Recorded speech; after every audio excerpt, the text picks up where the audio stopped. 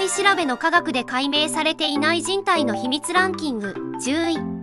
夢の意味。夢はなぜ見るのか。その内容がどのように決まるのか。まだ完全には解明できていない。9位。記憶の仕組み。どうして記憶は消えたり時に鮮明に蘇ったりするのかそのメカニズムはまだ謎に包まれている。8くしゃみ。くしゃみはなぜ起きるのかどうして光に反応する人もいるのかまだ解明されていない。7位あくび。なぜ人はあくびをするのかその生物学的な意味は未だ明らかにされていない。6位鳥肌。冷えや感動で鳥肌が立つ理由。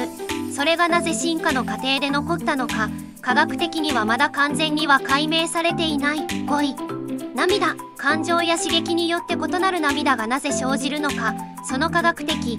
生物学的な違いはまだ解明されていない。4位は右上の概要欄へ。3位。水に触れた時にできる指のシワ長い間水に触れるとなぜ指にシワができるのか。その正確な理由はまだ分かっていない。2位。